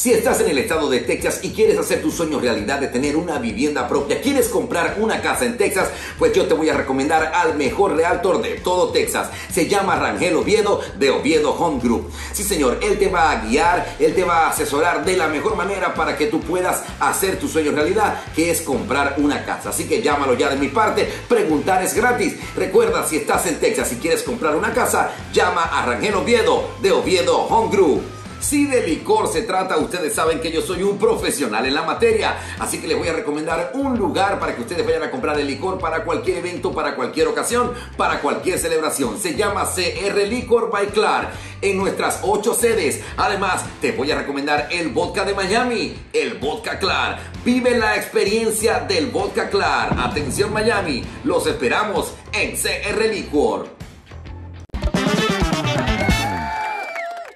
Bueno, la parte ya difícil ya pasó. Ahora viene la, la fácil, aunque tengo va- varias, varias, varias dudas que, que- que necesito que me aclaréis. Pero primero, hablemos de los momentos lindos, mi querido Omar Vizquer. Ajá. Momentos lindos en tu carrera profesional que sé que han habido muchísimos, tanto en Venezuela como aquí en los Estados Unidos en tu carrera profesional. Ok. Describime un momento lindo que te acordáis como si fuera ayer, pero describímelo.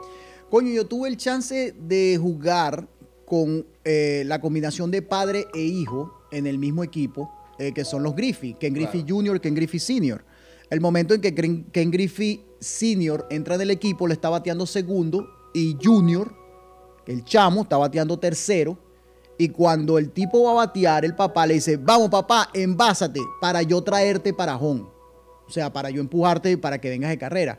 Coño, ese fue un momento que yo vi con mi papá mucho porque mi papá me llevaba a los juegos. Este, y era mi principal este, eh, Motivador. motivador, este, eh, eh, teacher. Maestro. maestro. Y coño, ese, esos momentos los vivía yo con mi papá cuando jugaba en las ligas de los criollitos de Venezuela. Verlo en grandes ligas con estos dos tarajayos, coño, un carajito de 20 y el papá que tenía 39, 40, coño, fue un momento especial que se le paraba a uno los pelos. Y verga, y ve al papá y al hijo jugando en el mismo equipo, fue una vaina excepcional, bellísimo, bellísimo. Una uno- unos momentos bellísimos que O viví. sea, cuando escuchaste eso en pleno juego, te remontaste de una vez. Claro, de una vez me llevó y me, me transportó a cuando mi papá me llevaba a los juegos con los criollitos. Papi, y de, de esas, de esas jugadas divinas, mágicas que quedaron para la historia, que agarrabas mano pelada y dabas 70 brincos en el aire y soltabas ese centellazo para primera. Como la que practicamos hoy. Como la que practiqué hoy que me diste la técnica. Ajá. Bueno, Ajá. hubieron muchas de esas. Es, difícil mencionar una en particular, Correcto, pero, pero- pero, coño, me acuerdo una jugada que yo hice en un no hit no run. Ajá. o este, que estaban lanzando. El último out del juego fue una jugada mía con la mano pelada. Y todo el mundo decía, coño, pero ¿qué está haciendo este tipo? Si es un no no run, no jodas, si se le cae la pelota, va a perder el no run. Sin embargo, bueno, yo creía que podía hacer la jugada con la mano pelada y realicé y se, se acabó, hicimos el no run. Y otra de las jugadas que se, se veían más, eh, la Serie Mundial del año 90 y- 97 con eh, los Marlins, eh, por cierto, aquí en Miami. Y fue una jugada de cabeza hacia mi lado derecho, en la cual maté el juego, porque el juego estaba 4 a 2, había hombre en segunda y tercera, si pasaba el hit iban a empatar el juego, Correcto. no sabíamos. Y nos dio la oportunidad de ir al juego 7 de la Serie Mundial, que es el juego más arrecho que tú te puedas imaginar, porque coño, lo piensas en tu cabeza, no te deja dormir, hay mucha presión, eh, etcétera, etcétera. Y, y eso fue, ese fue un jue- el juego más arrecho de mi vida. Entonces nos dio la oportunidad de ir a ese, Ese juego fue el 7. juego más arrecho de tu vida. Coño, imagínate, el juego 7 de la Serie Mundial, hermano, donde todo el mundo está, coño, ¿qué va a pasar? ¿Qué tal? Y en la noche tú lo juegas en tu mente, te preparas este, emocionalmente, físicamente, mentalmente para esta clase de situación. Y, y qué de pinga que tuve la oportunidad de jugar ese juego 7. Batazo, boom. Te tiraste, pero. Me tiré sea, de cabeza y saqué el tipo en primera eh, para... Se venía abajo el estadio. Coño, se venía abajo y eso fue aquí en, en Marlin. O sea que fue una de las jugadas más, más significativas de mi carrera. Y un- algún batazo que recordes así también con. Coño, con- batazo, este, el último hit mío que di, el 2877, que lo di en Toronto ya con mi último equipo, este, para despedirme, eh, me dieron la oportunidad de jugar el último juego de la temporada en mi retiro. 2877 hits. Sí, sí, me faltaron Normal. 133 hits. Verga. Si me preguntas a mí, yo creo que no te faltó nada.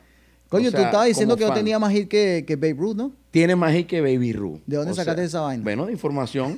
¿Es verdad o es mentira? Es verdad, es verdad. Más hit que Baby Ru. Sí. Y busquen ustedes quién es Baby Ru. En Google, busquen. Los invito. ¿Ah?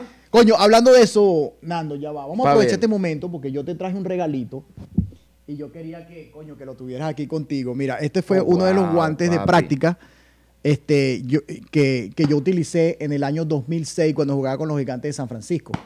Este, yo firmé con esta compañía que se llama SSK y este es un guante mío para que lo tengas aquí contigo. Papi, perfecto. También te voy a dar Quiero llorar. la pelota, este, una pelota firmada por mí, que no te la he firmado todavía porque quería que eh, lo hiciéramos después del show.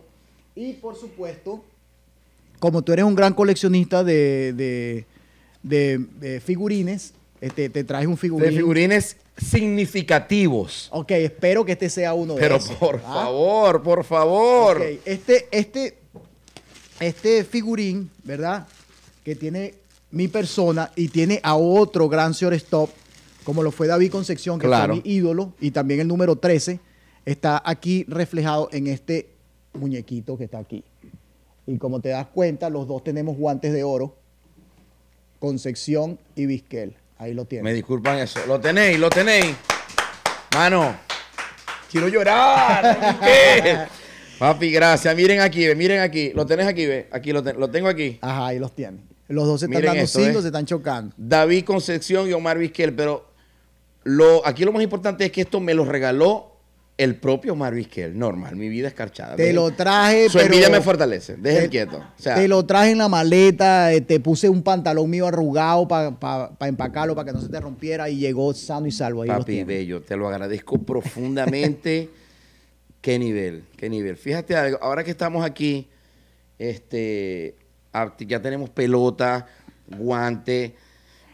Fíjate, a mí me inquieta mucho el tema de nunca acabar de la llegada de, de Omar Vizquel al, al Hall de la Fama. Ajá. Eso es un tema que la gente, que, que entonces, ¿qué que, que pasa? Que por qué no Omar tiene que estar en el Hall de la Fama por números, por, por, este, por, por carisma, por años, por todo lo que, lo que hiciste, ¿no? Pero fíjate, nosotros en Venezuela tenemos un periodista, creo que él es periodista deportivo de, de los más importantes de la historia del, del deporte, que se llama Juan Bené. Sí. Saludo al señor Juan Bené. y Yo lo conozco. Ajá, vos lo conocéis. Entonces yo, yo te voy a hacer la pregunta así como criolla, te la voy a hacer criolla y folclórica y bien, y bien coloquial, como si estuviéramos no con una cámara de televisión enfrente, sino como si estuviéramos en la calle. O sea, Juan Bené, ¿qué pasa con ese? ¿Te tiene arrechera? ¿Qué le pasa a él Coño, Juan? Bené, un momento, O sea- hubo un momento de Juan Bené que me fue a, a- a hacer una entrevista en. Caracas. Ok. Pero este, él llegó tarde al estadio. Y resulta que cuando él quería hablar conmigo, este, él quería entrar al crujado de los Leones del Caracas y no lo dejaron. No lo dejaron ya por, por tiempo, porque le decían que ya los periodistas tenían que estar fuera ahí una hora antes del partido. Él insistió y lo- lo- parece que lo empujaron y lo sacaron a la fuerza. Entonces él en una publicación que puso eh, al día siguiente dijo que no podía, no pudo entrevistarme porque mis guardaespaldas este, lo habían sacado del de, equipo Leones del Caracas. Algo que fue completamente falso, era la misma seguridad del estadio, ¿qué tal? Y yo creo que de ahí en adelante él tomó... Este, Lo tomó personal, Sí, así. lo tomó personal y empezó a... tú y nunca sabes- le hice una entrevista. no, no, o sea, yo había conversado con Juan Mené muchas veces Claro, antes exacto. de esa oportunidad. Este, él, él estaba en Nueva York, hablábamos cuando yo jugaba en Grandes Ligas y él vivía en Nueva York. Cada vez que el equipo iba hablábamos. Pero a partir de allí el tipo me hizo la X y empezó La a X, escribir sus señor ha dicho- de- escrito muchas cosas negativas de tu Sí. parte, como, como por ejemplo, que a mí me llama mucho la atención, que el tipo dice, pero es que los 11 guantes de oro que tiene Vizquel los da la Rowling, no las da la MLB. Entonces yo me Sí, digo a mí mismo, mí mismo. O sea, vos agarrabas sin guante, coño de la madre. Vos agarrabas con la mano pelada. O sea, eso tiene un mérito mayor, creo yo, porque Mm. lo hacías en situaciones de apremio, como lo que acabáis de contar, con un verguerar de gente. Discúlpeme que estoy criollo, pero es que me molesta. No, coño, ojalá que vote no joda el año que viene Exacto, para la un vaina. vergueral de gente viéndote con una presión y vos le metías la, a la verga, palabra cierta, y vos le metías la mano a la pelota, o sea que si es por el guante, hasta sin guante agarrabas vos como si fueras Sí. a ver una pelota de goma. Sí, bueno, Entonces, hay muchas, eh, muchas eh, comparaciones, muchas comparaciones con los otros campos cortos. Este, mis números están ahí. Yo creo que Loco, sí. o sea, diste más ahí que Baby Ru. Ah, Bueno, ya los I no tienen mucho que ver con la vaina de, de- de- los guantes de oro ni nada de eso, pero yo creo que mis números son muy comparables con, con peloteros que están ya en, en el Hall de la Fama y bueno, ojalá algún día haya una oportunidad, sigamos creciendo con los votos para llegar allí. Señoras y señores, ayúdenos a que la leyenda venezolana Omar Vizquel llegue al Hall de la Fama. Vas a llegar, vas a llegar. Gracias, hermano, gracias. Vas a llegar porque vas a llegar. Y Amén, así. amén, amén. Saludos, señor, disculpe. De verdad, a mí no me gusta crear polémica ni nada, pero sí he visto que en los últimos años eh, él es como que uno Sí. este, de las personas importantes que dice, él no tiene los números, él no, él no y él no. Y va y dice que soy, eh, que eras era bonito, que eras flaco, también, sí, también. Usted tenía esta cualidad también, es bonito el pan. Entonces, aquí con, con- con mucho respeto, pues yo opino, no es por tenerte aquí ni nada, sino porque esto se habla en el mundo entero, en, en los venezolanos, no solamente los venezolanos, usted sigue gente de todo el mundo, loco, Claro. por favor. En cualquier parrillada, en cualquier almuerzo, en cualquier lugar, siempre sale el tema. ¿Por Sí. qué? Porque nada más tenemos uno. Exacto, es Nada uno solo que vota. Él es un solo, un solo voto que, que incide o no en, en el. Son 450 votantes, una vaina así. Tienes que tener el 75% de los votos y él eh, constituye a un solo voto. Pero por supuesto, él eh, envenena a los demás y vaina y puede ser algo negativo. Pero más allá de eso, además, también tenemos un solo Hall de la Fama. Sí, en este momento ahorita está el gran Luis Aparicio. Que ¿De es dónde es Luis Aparicio? Maracucho. además de esa vaina. Coño, además de esa O vaina, sea- gracias por invitar a un caraqueño a tu programa, porque verga, el 90% Papi, yo amo no Caracas. joda, yo amo Maracucho, Caracas, Yo wow. amo Caracas, amo Caracas, sí, señor. Papi, y es que, es que más allá de que nada más este, en el béisbol de grandes ligas han habido muchos venezolanos eh, importantes, con trayectoria, con números, pero, loco, o sea, tus números hablan por sí solos, tu carrera este, brillante, loco. Entonces, bueno, papi, yo te auguro que, que- que más eh, temprano que tarde, entré al Hall de la Fama y que bueno, y que toda la gente, todos los detractores, este, pues bueno, eh, vayan y nos llamen el jueves cuando el hombre entre. Coman dulce, ¿me entiendes? Así de amén, sencillo. amén. Así de sencillo, papi.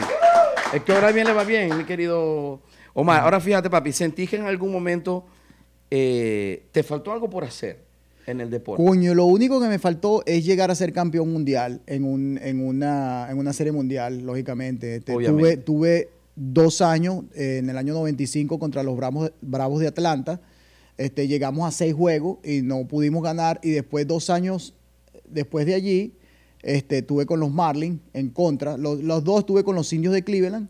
Y ninguna de esas dos pudimos llegar a ser campeón. ¿Y qué Eso es lo único que me dolió, que no, coño, que no pude lograr en mi carrera. Pero todo lo demás, yo creo que personalmente, récords personales, este, sí creo que me llené bastante de, de triunfo.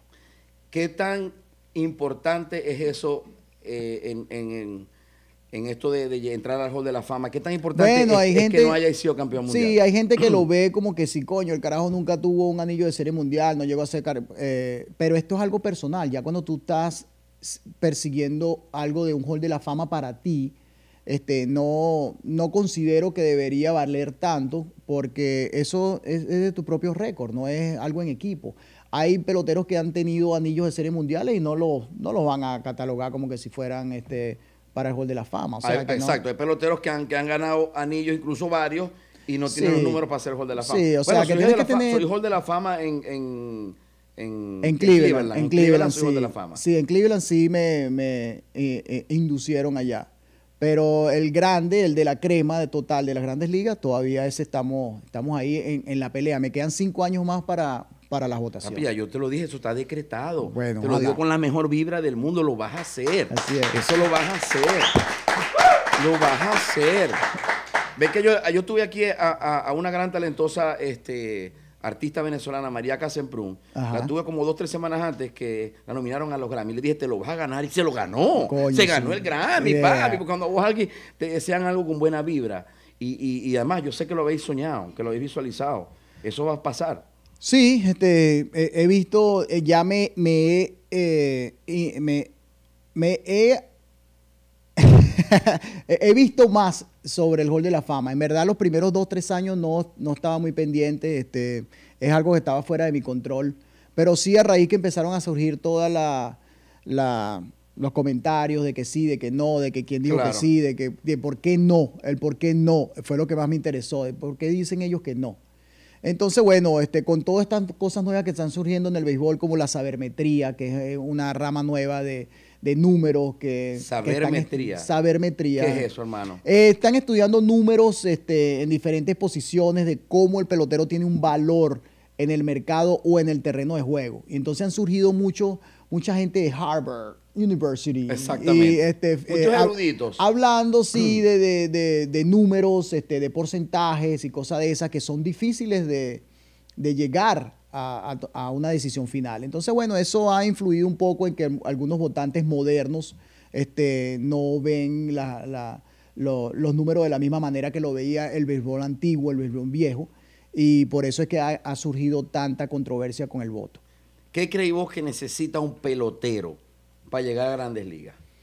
Para llegar a Para Grandes Ligas. llegar a jugar a grandes ligas. Bueno, ¿Qué- lógicamente- ¿Qué se necesita? Además del talento. Sí, además el talento, bueno, este, mucho trabajo, mucha inteligencia, ajuste. Es una combinación de cosas, porque no te va, no, tú no vas a llevar a Grandes Ligas simplemente porque tienes, o, o eres talentoso, o eres, eh, Es una combinación de muchas cosas. Sí, ¿no? muchas cosas. O sea, estábamos sacando la cuenta el otro día. Eh, son 30 equipos, cada equipo tiene 25 peloteros en el roster. Son alrededor de 700 peloteros que, que forman parte de grandes ligas. 700 en el mundo. Entonces, coño, es una vaina muy reducida, muy, este, muy difícil de llegar y de mantenerte. Coño, imagínate mantenerte en el mejor béisbol del mundo por tanto tiempo. Es muy arrecho. Entonces tienes que tener esa combinación de talento, de trabajo, no puedes ponerte comiquita, tienes que tener una, una ac- actitud, este, coño, buena, que los otros peloteros se ajusten a ti, que la, la gerencia guste de tu juego. Este, y bueno, y todo eso forma parte de- del éxito tuyo en las grandes ligas. Fíjate, en, en algún momento de tu carrera, cuando, cuando estabas así en la cúspide de la sentí que hay una lucha con, con- con- con los egos, con el ego. ¿Llegaste vos en algún momento a sentirte, ¿sabes qué? Yo soy aquí, yo soy Terminator en el, el béisbol. Sí. ¿Llegaste a sentir alguna vez eso? Sí, sí lo siente, este, sí lo siente porque cuando a ti te dan un contrato multianual, que el equipo este, sabe que tú vas a estar con ellos 6, 7 años, coño, tú eres la figura de ese equipo, tú eres la cara, tú eres el responsable, el equipo pierde, tú eres el que tiene que dar la cara. Y coño, y ese ego tuyo se llena. Se infla. Sí, tú tienes que ser, coño, yo soy el líder de este equipo, yo tengo que echar este equipo para adelante. Y de esa manera puede ser que tú este, vas escalando posiciones y te vas sintiendo, coño, más grande, este, con más responsabilidades. Y por eso yo quería ser manager de Grandes Ligas, porque eso es lo que, lo que tú aprendes y, lo, y, y como tú eh, eh, eh, eh, enseñas a, a la generación de relevo. ¿Querías o queréis? Bueno, todavía quiero. Yo Este- creo, yo este creo, que, año- yo, yo creo que, que- que eso también se te puede venir. Sí, eso puede venir. Este año lo agarré sabático completamente, este, me tomé un año libre, este, tuve algunos problemas que tuve que resolver, pero lógicamente voy y, y voy a seguir continuando a ver si puedo lograr ese sueño también. Por favor, claro que sí. Papi, enfoque, concentración, determinación. Habla un campeón ganador. Ah, a ver, papi, y de- en, en Venezuela, De esos juegos en Venezuela así legendarios, decime uno, recordarme uno así divino de que el estadio se iba a caer. Coño, casi todos los juegos con Caracas Magallanes. Caracas Magallanes era la locura, ¿no? Wow, era locura. así uno que diga, ay, papi, este fue, pasó esto y esto y esto. Bueno, Describime alguna situación. Su- tuvimos una serie de una serie final Caracas Magallanes en la cual llegamos a un juego 7. Año- coño, el año no sé. ahorita en 90 y este algo, momento. no, sí, no, debe 2000. ser 99, 2000, algo así. Y ver, era un juego cortavena. O sea, tú no podías salir de tu casa a comer a un restaurante, a caminar por las calles porque, coño, Iker, vamos a echarle bola, vamos a ganar hoy. No, la fanaticada de Venezuela, chamo, la, la, la fanaticada de Venezuela Caracas durísima. juego 7 en el universitario. No, eso fue en Valencia. En Valencia, Y nos ganaron. Wow. Para salir de ese dogado, hermano, de ese clujado para ese, para ese autobús, ese es el trayecto más largo y ladilla, porque la gente te cae encima, te empieza a tirar vaina. Eh, difícil, difícil. Cuando tú pierdes con Magallanes, tú puedes perder con cualquiera, pero Puedes cuando pierdes con Magallanes, Águilas. coño, no, no, no, no. Mira, pero ven acá, y alguna jugada así que ganaron los leones tuya, ¿tenés alguna así emblemática? Bueno, con- eh, precisamente contra las Águilas del Zulia hubo una serie este, en la cual eh, yo no pude andar en los playoffs y tuve que irme a Estados Unidos este, por, por algo eh, médico. Y coño, y el equipo este, eh, empezó la serie 0 y 2. Y si le ganaban dos juegos más, este, íbamos a perder la serie, la serie final. Este, mi papá me llamó y me dijo, coño, chamo, el equipo está mal, ¿por qué no te vienes? Vente para acá. Y vaina. Res- regresé este, eh, y tuve cinco días sin jugar y así mismo me puse a jugar como un loco y el equipo, coño, hicimos una reunión antes del juego, este, hicimos Fuiste un par líder. de cambios, sí, fui, fui líder allí, fui Ajá. líder, me tuve que armar de valor y con todo y que no estaba en condiciones, coño, juegas cinco días sin jugar, te sentías apático, no tienes fuerza y sin embargo me salieron las cosas bien, hice un par de jugadas bien, el equipo cogió ánimo y ganamos cuatro juegos seguidos para barrer a las Águilas del Zulia, así que lo siento, hermano. Bueno, este, te voy a, aplaudir también, pero ajá. Aguilucho es aguilucho. Ahora, eh, fíjate algo. Eh, hablando de- de- del el béisbol venezolano, loco, el- los jugadores venezolanos han sido estrellas. Sí. Estrellas, pero ¿creéis vos que le haga falta algo este, al béisbol, pre- be- be- mm, béisbol profesional venezolano? No, hoy en día, coño, hoy en día los peloteros están jugando y, coño, es bueno ver a los peloteros grandes ligas, por supuesto, jugar en sus plazas. Coño, es lo que trae el sabor del béisbol venezolano. Y hay tantas academias y tantos peloteros que han salido eh, últimamente de esas academias que, coño, el, béisbol ahorita está minado, los equipos están minados de peloteros buenos. Y eso da placer verlo, porque este, antes eh, habían más eh, escuelitas pero no se veía lo que coño, lo que estamos viendo hoy en día. Hoy en día nos joda una loquera de peloteros que tú, hay peloteros en Grandes Ligas que tú ni siquiera conoces que, que han Exactamente, jugado. que ya están firmados y ya está. Sí, o sea que ahorita hay una cantera, pero bellísima, bellísima de peloteros que han venido surgiendo eh, todos los días. Omar, ¿y habéis tenido algún día de así bien frustrante que dijiste, coño de la madre, que te ponchaste así mucho o que cometiste un error así frustrante que te recordé y que dijiste, mierda, ¿qué, pa- qué pasó? Que perdieron por tu culpa, esos días así. Bueno, porque los días de gloria siempre están. Claro. Pero los días... eh, no, los primeros tres años que yo llegué a Grandes Ligas y me metían tres ponches o no jugaba bien, este, yo, yo me sentía de- deprimido, eh, depresión total, no quería hablar con nadie, la pagaba con los, con los que estaban al lado mío. Este, era una frustración horrible porque, coño, imagínate, eh, te están pagando este, suma de dinero, te están dando la, la responsabilidad y tú no, no, puedes, no, no puedes jugar bien. Entonces, eso significa que te iban a bajar para triple A o te iban a votar y mandarte para la casa. Una presión arrecha. Sí, eso es lo que vivimos todos nosotros cuando llegamos a Grandes Ligas. Coño, ¿voy a responder o no voy a responder? ¿Estoy listo para jugar a Grandes Ligas o no? Y es allí donde la mente tuya tiene que dominar tu cuerpo y dominar, decir, chamo, ¿qué te pasa? Tú eres pelotero, tú eres arrecho, vámonos para encima, esto es tuyo, esto es lo tuyo, vámonos y convencerte de que tú eres bueno, que vas a salir de, ese- de esos problemas. Y eso es una de las cosas que le decimos nosotros constantemente a los chamos que, que están surgiendo y, y cuando le damos consejos a los jóvenes. No se rindan, o sea, ustedes son buenos, ustedes están aquí porque lo vieron, que tenían unas condiciones natas. Ahora todo lo que tienes que hacer es trabajar duro para que te ganes ese puesto y sigas en el lugar donde, donde, donde quieres estar. ¡Joda! Papi, ya, o sea, esta entrevista se terminó, o sea, ¿me entendés? Divina, ¿con qué mensaje? O sea, ya contundencia. Bueno, eso no lo vive nada más el pelotero, Nando. Yo estoy seguro que cuando tú llegaste aquí, coño, estábamos hablando Sí, hoy en, sí, el almuerzo, coño, es arrecho llegar. O sea, que te abran las puertas, este, sí. tocar las oportunidades. Olvídate, tienes que cometer las verdes para. Y mucha gente te dice, no, no vas a servir para esto, Sí. déjalo así, llámame el jueves. Coño, cuando yo fui a, a entrenar por primera vez, a mí me dijeron que era muy chiquitico para jugar pelota, que mejor me fuera pa- a montar caballo para el hipódromo. Por favor. Eso me lo dijeron Ah, no a te mí. sirve para jockey. Ajá, eso me lo dijeron a mí. Y yo dije, ¿qué te pasa a ti, pana? Yo lo que juego es pelota, yo juego béisbol, esto es lo mío, esto es lo que, no, este es mi sueño. ¿Cómo tú me vas a tratar de, de, de- de truncar mi sueño así porque tú Le digas que- respondiste así. Este, no le respondí así, pero por dentro dije, ¿qué le pasa a este viejo que está hablando esa vaina? Mm, Mamá, ñema. Así le dijeron al tuve también. Bueno, imagínate, chiquitico. sí, sí, no, Bueno, y ahí- a, a mí me lo dijeron también. Me dijeron, para la radio no servís, dale para allá. Es más, una vez me dijeron, yo, yo en el año 99 o 2000, empecé a hacer un programa de televisión en el Zulia. Ajá. Y la productora de ese canal en ese entonces dijo que yo era muy criollo y folclórico para el programa. Y o sea, yo me dije a mí mismo, mí mismo, si yo estoy maracucho y es maldito, pero la más sale en Maracaibo, como querés que hable? Claro. Argentino, colombiano, ah, valenciano, tengo que hablar así. Bueno, Y bueno, este, pasaron los años y me, pa- lo mismo me llené así de valor, de determinación y fui para adelante. Y bueno, Claro. gracias a Dios, hoy estoy entrevistando a, a Omar Vizquel, normal, una eh, de las máximas estrellas del deporte mundial. No, y crean, crean en ustedes mismos. Cuando tú crees en ti mismo, tienes esa confianza por dentro, puedes llegar lejísimo. No te imaginas lo que eso te puede Papi, agradecido profundamente que hayáis venido a mi casa, a mi show, por estos regalos que los voy a, a- a- a- a colocar, que los vea todo el mundo cuando llegue a mi casa. Ay, esto que me lo trajo Vizcar.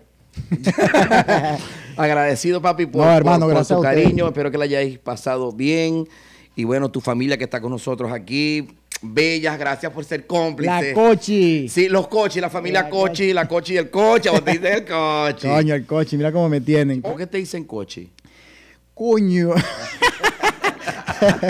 ¿Por qué Esto va a sonar medio raro, va a sonar bárbaro, pero la, la mujer con que yo estoy saliendo ahorita Ok. me puso el coche. Y yo le pero ¿qué, ¿por qué tú me dices el coche? Y yo, coño, no te bañas todos los días. ¿Qué? Por favor. Y yo le digo, pero ya va, pero ¿por qué yo tengo que bañarme todos los días? Si he pasado todo el día viendo Netflix aquí, Claro. no he hecho un coño. ¿Por qué tengo que ¿Por bañar? qué me voy a bañar? Si huelo igualito que el día siguiente, el día anterior. Entonces ya te puso el coche. Ella me puso el coche. Pero habéis pasado más de dos, tres días sin bañarte. Coño, tres días el máximo. he pasado. Por favor. Bueno, permítame decir que yo lo tengo al lado y huele divino. Ahorita me dice, marico, me bañé antes de venir. Bueno, eso es verdad, mira, hasta gelatina me eché en el pelo. Papi divino. Papi, gracias. Él es Omar Vizquel de Venezuela para el mundo, un ejemplo a seguir en el deporte mundial. Yo soy Nando de la gente de Maracaibo, Zulia, Venezuela. Suscríbanse a mi canal de YouTube que es gratis y gracias por haber venido a mi show.